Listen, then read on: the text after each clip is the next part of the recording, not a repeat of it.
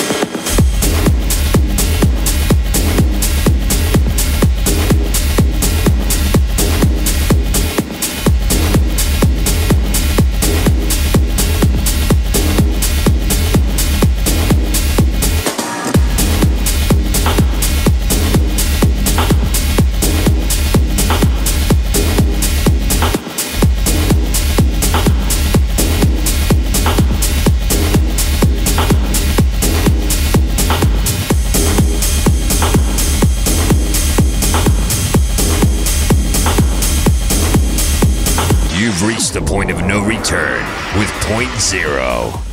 Our guest today is Simina Grigoriu. Simina, welcome to Point of No Return. Thank you, thank you very much. How was your year so far? Oh, it's uh, it's it's been a, um, it's been busy. It's been very very busy. I uh, I finished the uh, the album Exit City. I finished it earlier this year, um, and then after that, I mean, we started to do um, after that we started to do uh, promotions and whatnot. I also was planning my wedding, so uh, it's been it's been quite a, quite a full year so far. We know you from a wide range of sounds some tracks with much soul and some tracks with raw deep grooves. How do you get the inspiration to produce so diverse and refreshing?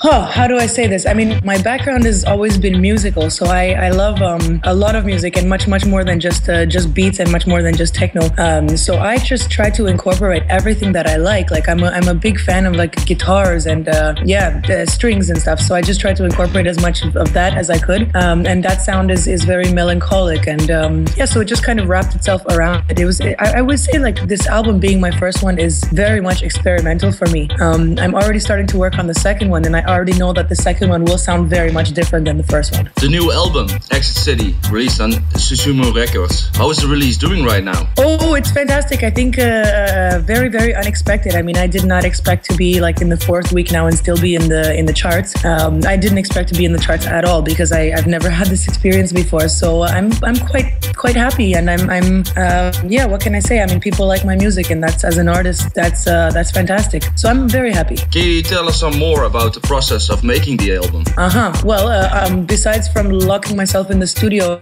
every day for about nine months, um, it, it, it's basically just that. Like, I mean, I, I work very much with samples. I don't uh, I don't use a lot of MIDI. Um, and whenever I'm I'm missing something or if I'm uh, inspired by a sound or whatever, I will I will sample it. Um, you know, from life. Uh, so basically, the process is just me sitting inside of uh, inside of my my studio and being extremely experimental. Um, because I'm I'm still very much an amateur. Like, I don't know always how to make the best bass drum or um, you know like uh, the best bass line. So um, my process is is quite experimental. I don't know actually how else to to explain it. Um, I sit there until it sounds right. You do a lot of remixes. What was the one for you this year? The special one you really enjoy doing? Uh, remixes. Ah oh, man, yeah. I haven't actually I haven't worked so much on on uh, remixes this uh, this year. I did no remixes uh, because I was working completely only on the uh, the album. Um, but um, uh, but yeah, the the some new remixes are, are coming up now um, as opportunities for me and as well as remixes from Exit City will start to come out. I think towards the end of the year. Um, but yeah, let's let's see what let's see what next year brings because I'm sure I will be uh, have a lot more remixes under my belt after this year. Any new projects or releases you can tell us about? Uh, yeah, I mean just uh, the the, uh, the remix EPs from uh, from my album will come are coming up, and uh, I also have an upcoming project that I made with a guy called Brian Johnson from Toronto on a label called Bohemian Yacht Club, and this is a couple of tracks that we made together quite some time ago, but they'll, they will be coming out this year. Um, some fun tech housey stuff, not so so dark like my album. Uh, so yeah, that's new, and uh, and of course album number two, which I've already started on. So I have no idea when it will come out, but uh, I'm hoping yeah, sometime next year. Thank you so much for your time. That was Simina Grigoriu on Point of No Return. Point zero.